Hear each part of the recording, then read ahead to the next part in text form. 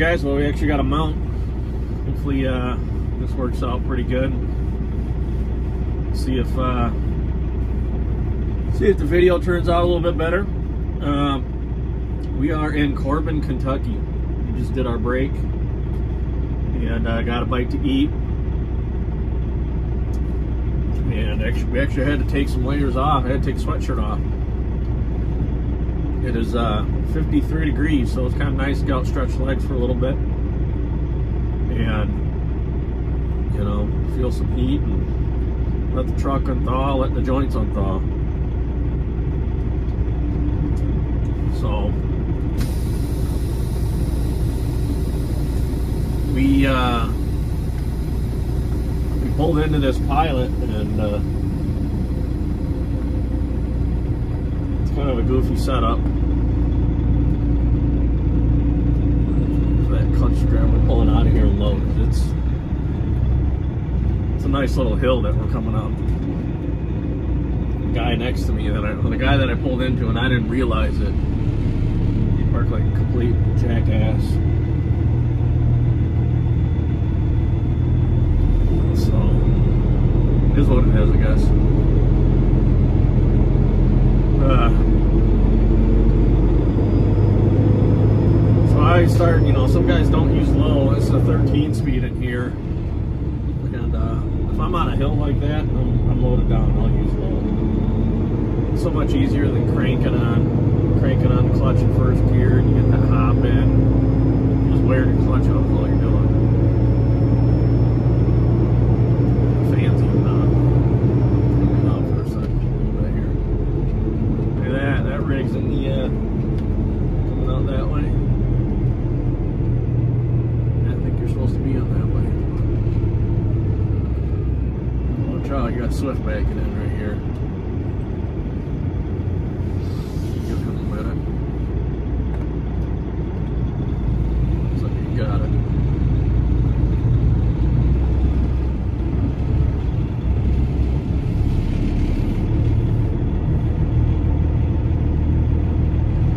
so far it's been pretty good nice day to cruise the uh, sun's out it's nice and warm. A little windy. You know it's kind of kicking me around a little bit when I come through the openings and stuff but nothing we can do about that. Oh man. I didn't see that when I came in here. Looks like we can't turn left, and that's the way we gotta go. Looks like we're going to the right. This guy's just in the middle of the road, not knowing what the hell he's doing. Look at him.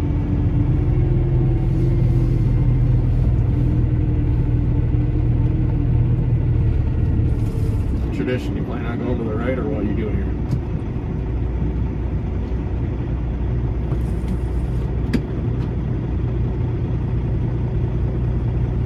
I don't think he even knows what he's doing. He's just sitting there. He ain't got a blinker on.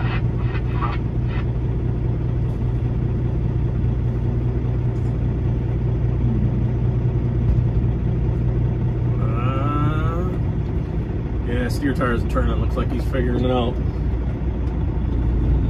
I'm not sure why he's in the middle of the driveway, making it hard for people to even get in. You know. Miles ago, they got the red light. Look at that man, boy. He doesn't want me to do a flip. Uh, not too sure about doing that.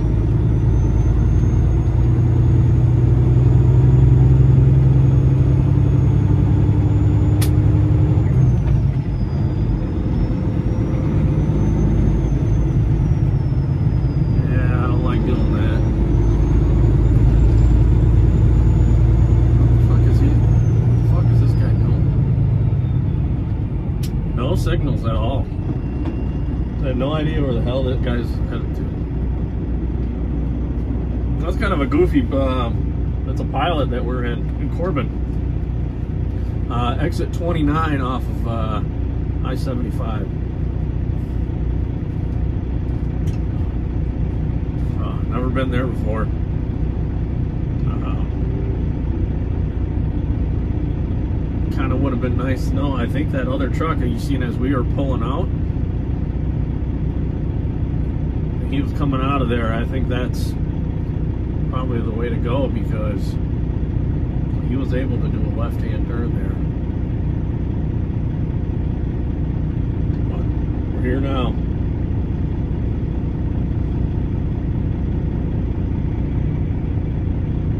So let's see what uh let's see how we make this flip. We could maybe go down that physical therapy there. but Not in the lane for that.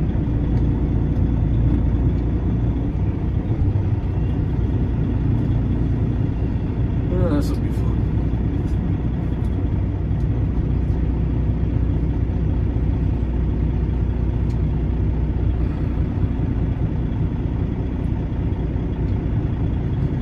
Guys ever been in any tight spots? Mark them down below. Comment below. Let me know. Maybe I maybe I've been there too. I don't know. I've been to some of these, you know, back when I used to run vans and reefers and stuff. I some of them spots they want you to get into is a little, a little chaotic.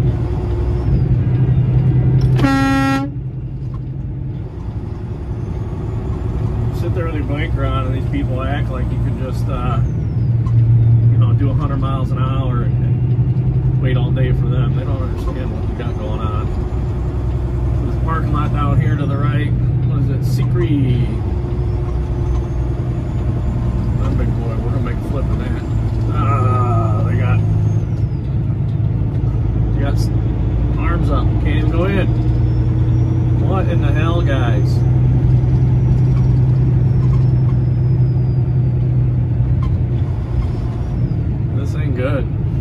Guess we're flipping here. I ain't got a choice.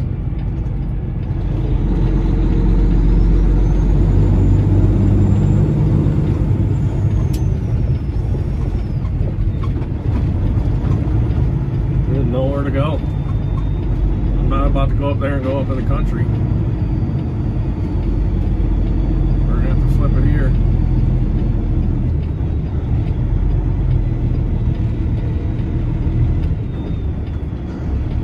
And we're gonna do it in low too. don't understand it. These people take fucking breaks at the pump.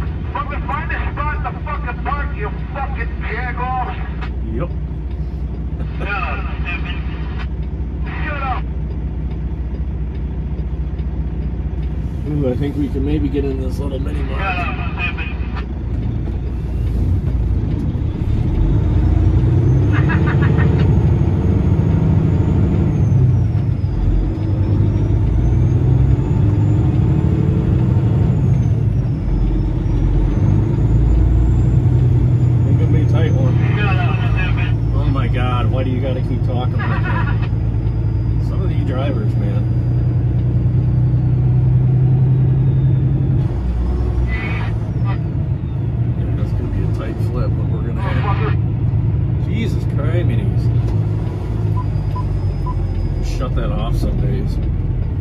You know, and then they'll they'll argue, they'll complain. Same type of driver will complain that nobody's got a radio on. Well, when you sit there and act like a two-year-old on the radio, think I want to sit there and listen to that when I'm dealing with this? You know, let's all be adults here. All right, here we go. And I'm gonna dump that axle too. See if we can't get a little bit more out of it. 'Cause This is just getting ridiculous.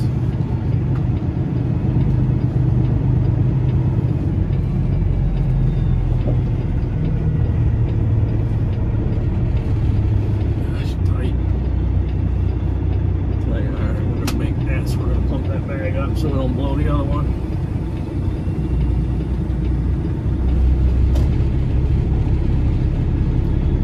Boy, nice to know, leaving that pilot.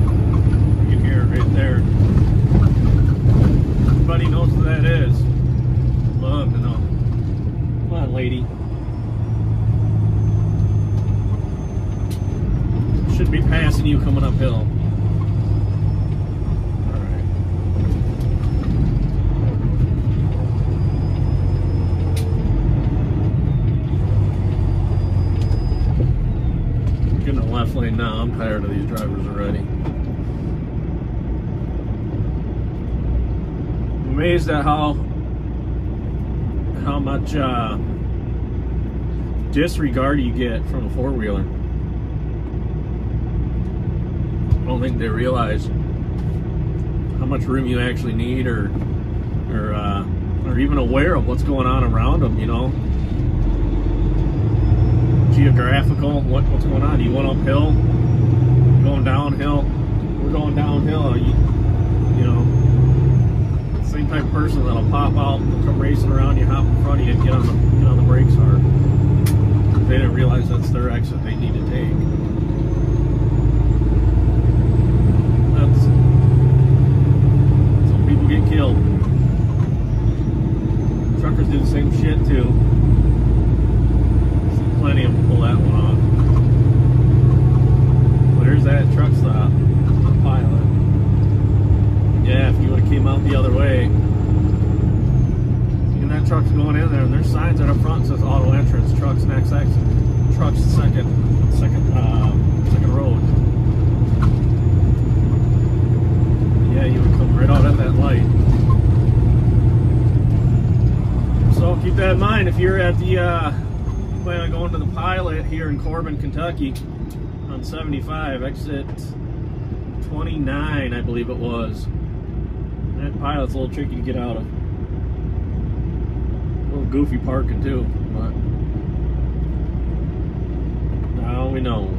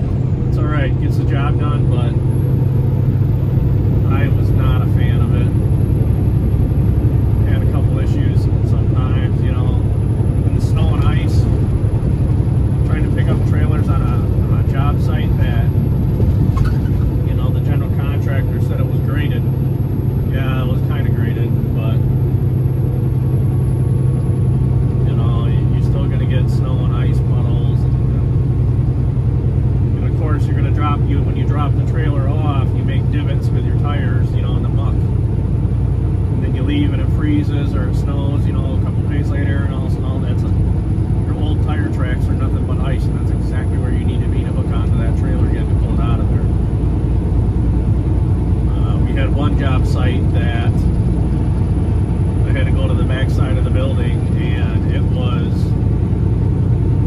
I mean, it was mud, mud. You couldn't get through there with, unless you had a pickup and four-wheel drive and you were struggling. The, uh, the off-road forklifts were having troubles even getting through there. They wanted me to take a, a day cab automatic down through there with a trailer. out of your damn mind.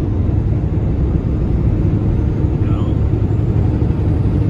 But, want touch base, see how this works. We're going to keep on trucking. Still got 300 miles to go.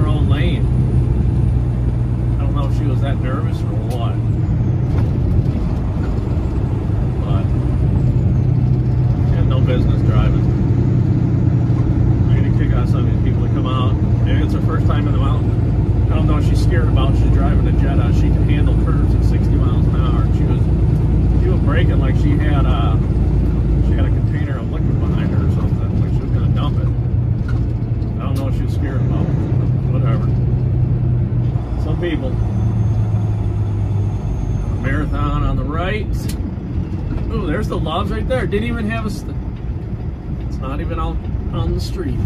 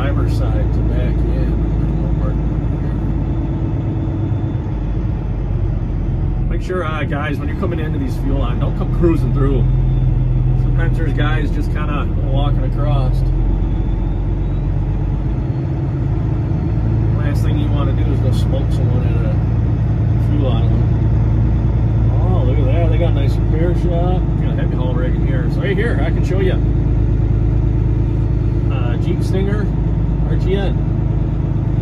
Hit there, Stinger's on the back.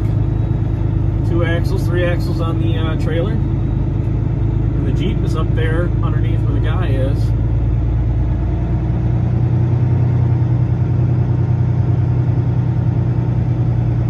And that hooks up to the truck. It's kind of hard to see because that is there, but...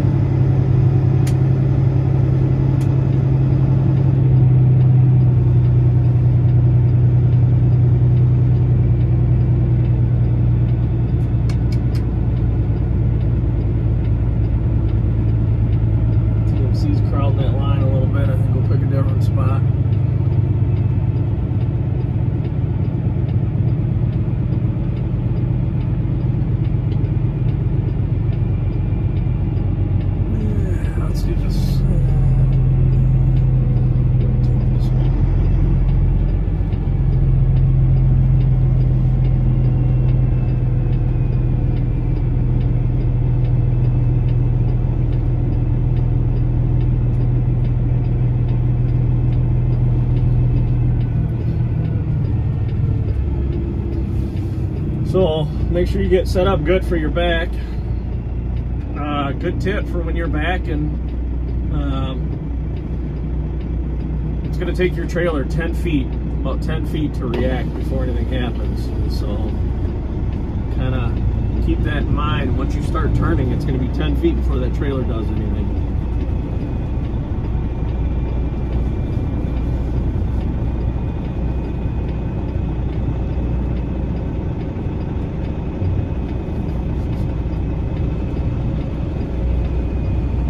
Let's see if we can get this one shot. We're pretty close.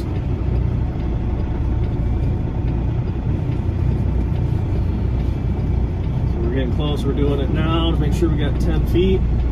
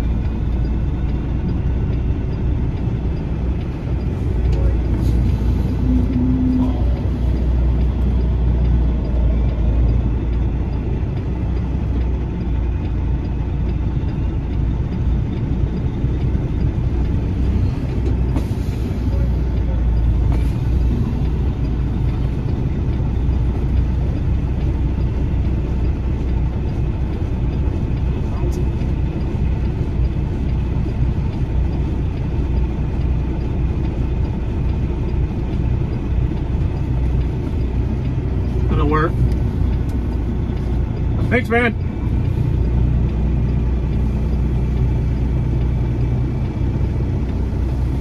Didn't turn quite as good as I wanted her turned. But we're in. Gotta get her in the center up here and straight back. It's one of the uh, parts that kind of sucks about having a split axle.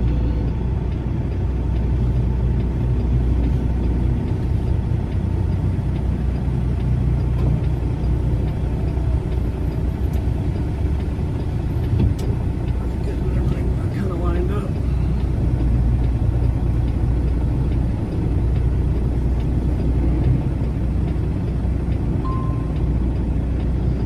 Yep, we're gonna go off duty.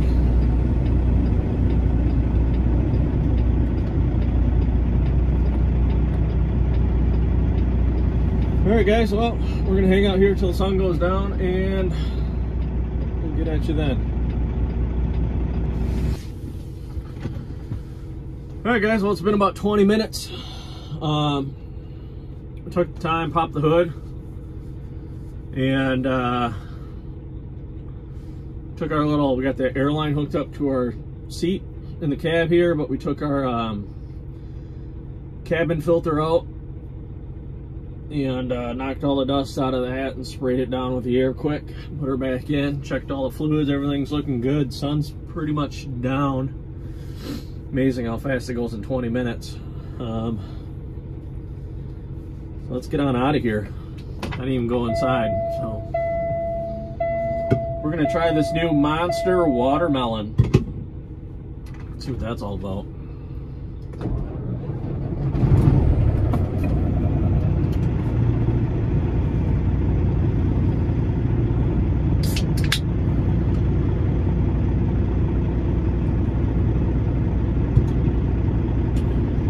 Ah. It's a little different.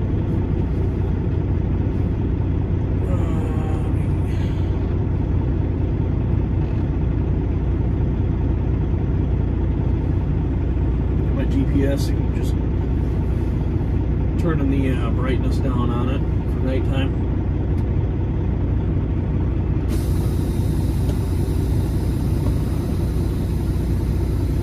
Then we did all that backing in here. I guess wasn't all that back. Too bad to do, but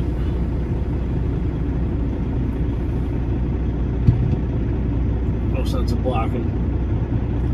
No sense of blocking if some guy's going to come in here and want to park. Know, here I am in his way.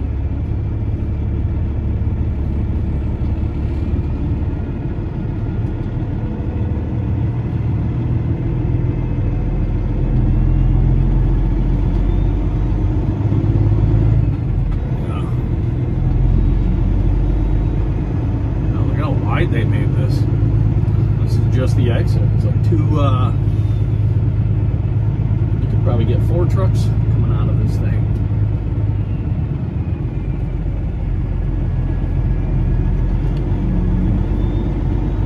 Nice little spot.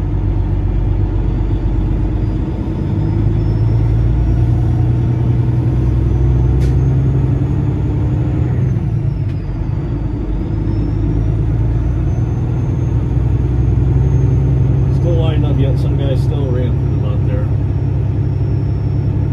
Unbelievable.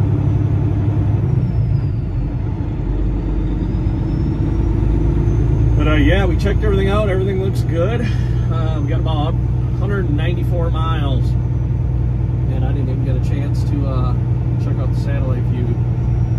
Probably should have done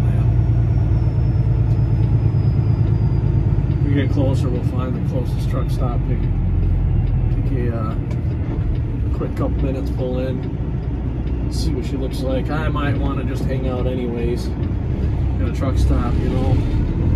If we're doing a 34, I probably don't want to sit at the receiver. I mean, what if we gotta go potty,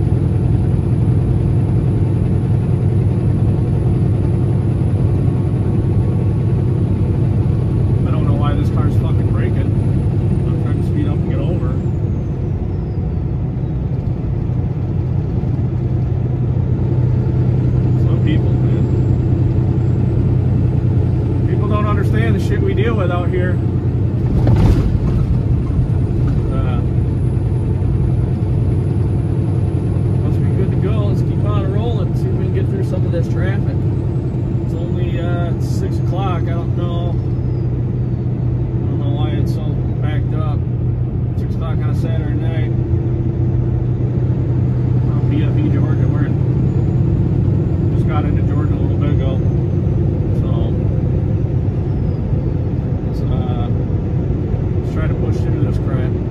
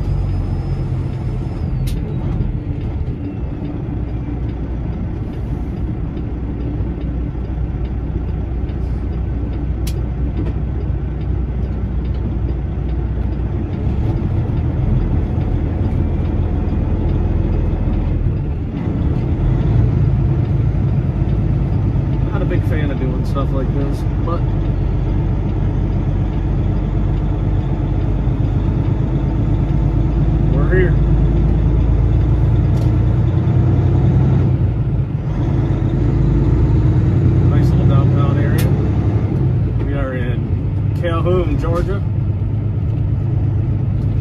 The track's probably going to be rough. Everybody super slow Yeah, a little bit.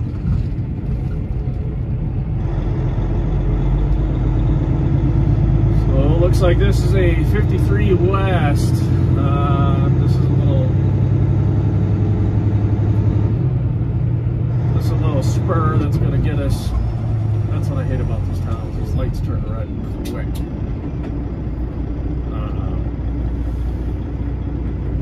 just a little spur, little, we're cutting down, we're cutting off. And this is gonna hook up with 24. We're gonna get on a 24 going westbound. And we found a Love's, which is about 20 miles from our delivery spot. So that's where we're gonna hang out for our 34. That way, if we got to use facilities or anything like that, we uh, we'll be set.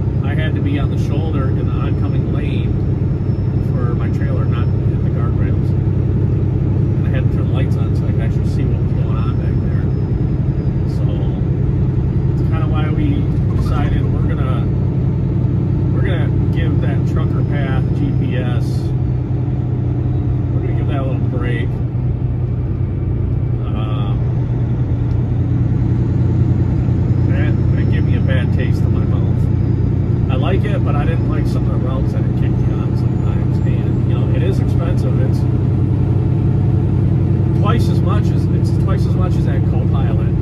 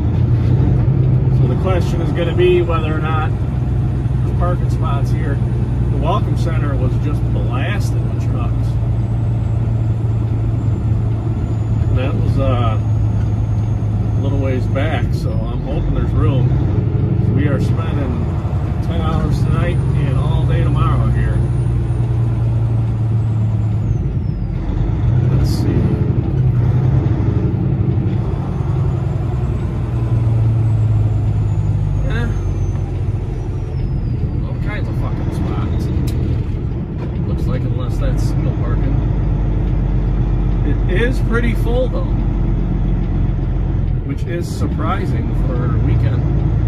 There's quite a bit of trucks here. But I think I see some bunch of spots we can get into. Guess I better pay attention to what the fuck I'm doing. Stop tickling gears.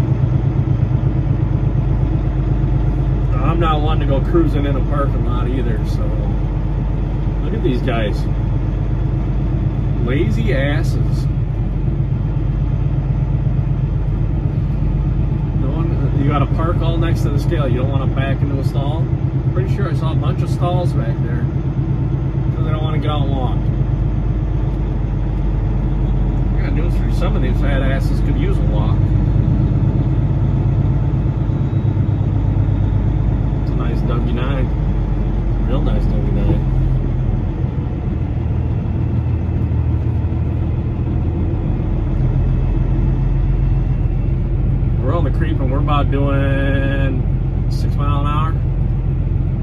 You know, there's no need to go hauling ass in here. So from what we saw, one thing I do like to do is if I can see the truck stop from the road or the exit ramp, get an eyeball on the spots so you kind of know which way to go, uh, what spots are open, and that sort of deal. So you can kind of set yourself up to begin with. Do I want to park next to a reefer? Do I want to park next to a reefer? Uh, I guess we're parked next to a reefer. Front roll.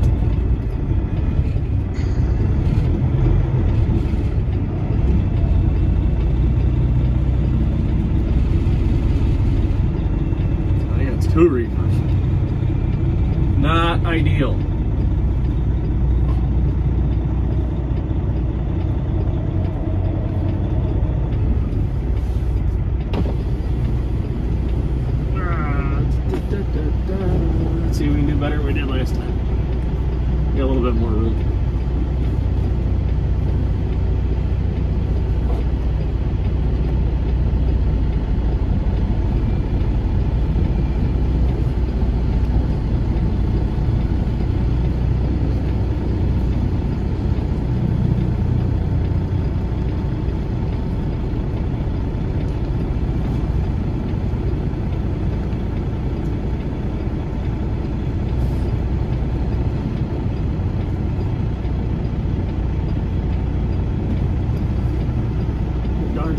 vessel's hanging on.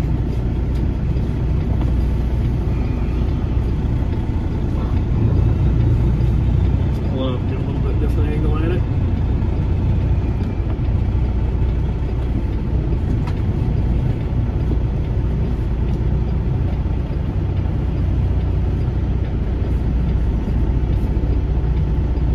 One part about Soxwell spread axles is they don't like to turn that way. They don't like to turn that well. I don't like to turn that sharp. You crank on the tires when you do, and you know you tear tires up and all kinds of crap.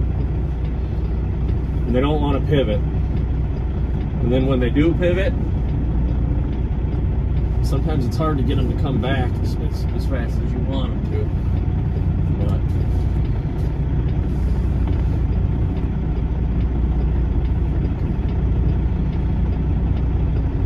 at that. Who says a flatbedder can't back up?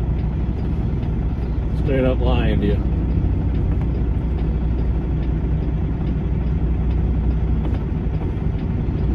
Here. All right, guys, I'm gonna do my uh, walk around, and that'll be it. We're here for 34.